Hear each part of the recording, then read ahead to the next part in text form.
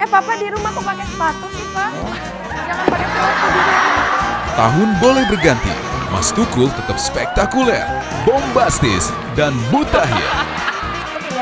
Ini nama bahasa Inggrisnya Ki Joko Stupid. Kembali kami. Selalu dibuka empat mata. Setiap Senin sampai Jumat jam 10 malam, hanya di Trans 7.